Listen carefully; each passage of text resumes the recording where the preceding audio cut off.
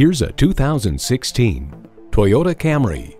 This is a car that demands respect. After all, not many cars have the tremendous history and pedigree of the Camry. And with features like these, every drive is a pleasure. Bluetooth wireless audio streaming, power heated mirrors, front heated leather bucket seats, Bluetooth, dual zone climate control, inline four cylinder engine, aluminum wheels, gas pressurized shocks, and automatic transmission. Car and Driver explains, inside the Camry is comfortable with good ergonomics and straightforward controls.